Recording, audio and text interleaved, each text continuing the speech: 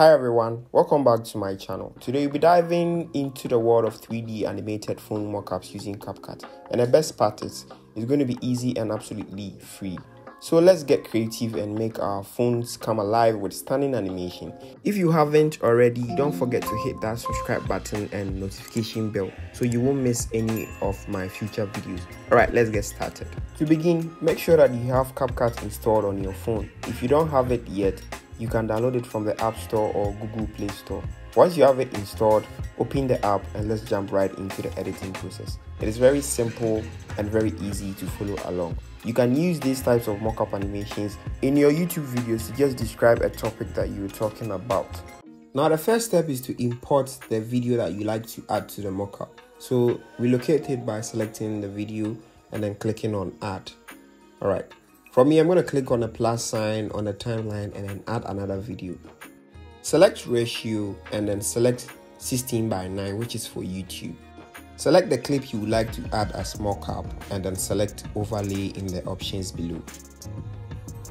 Hold the clip, drag to the beginning of the timeline. The video or picture must be an overlay before you can turn it into a 3D mockup. Select animation and then select combo. Scroll to the end and then you're going to see smartphone. For the first effect, it's going to zoom in the mockup and this is how it looks like. There are three of these mockups so you can select from any one you like. The second mockup actually zoom out the mockup and then it's very nice and attractive. So the third one also rotates the mockup and then you can play around with any of these mockups to make your videos look epic. You can decide to adjust the duration by dragging the yellow indicators right there. If the mockup is too small you can decide to click on the overlay timeline and then use two fingers to increase the size of the mockup. That is how you create a simple mockup using CapCut.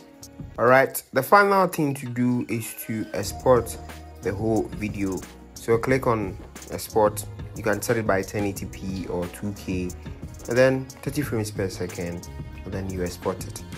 All right so here is the final result